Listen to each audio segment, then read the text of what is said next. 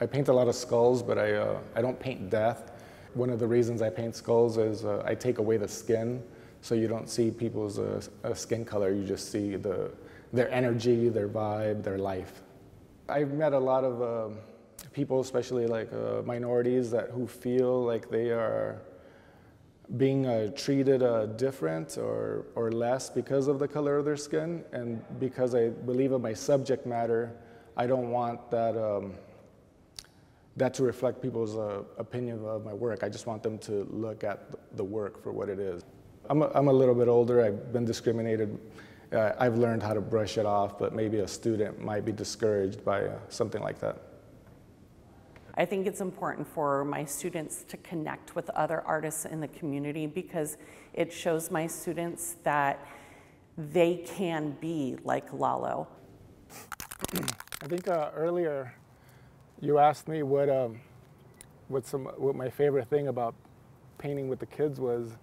With the kids, I paint stuff that I normally wouldn't paint, like uh, Miss Greene's father's dog. I'm painting. Uh, when would I paint that? You know. So I'm Candace Greene. I teach fourth through eighth grade art at Sevilla West School in uh, Phoenix. You know, there's a mural that we painted, and my students pass it every day. We just finished our sixth mural, and it's across the street from a school. Every single day, those students are going to pass by that mural and remind them to smile. It's going to brighten their day. Oh, the kids designed it. Yeah. Yeah, they actually come up with the word uh, that they want to use and they come up with a theme. I just assist.